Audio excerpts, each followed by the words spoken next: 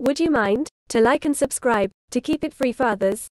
You too can send your results.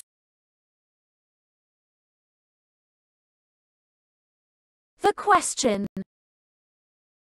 After testing random blood sugar, the result was 166, so that my doctor asked me to test HbA1c.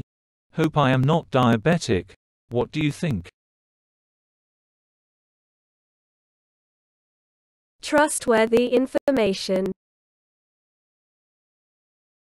Professional explanations. For Ordinary people.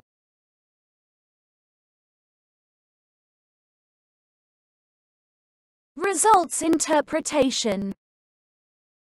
Random blood glucose is normal if your result is up to 140 mg per deciliter, and diabetes if your result is above 200. Yours is 166 which is between the two limits and can't be diabetes at this stage, although we can't tell that you're safe of diabetes yet. What does that mean?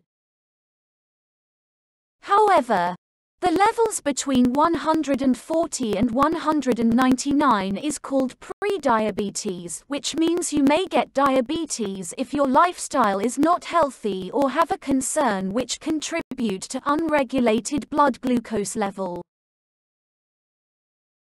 What should you do?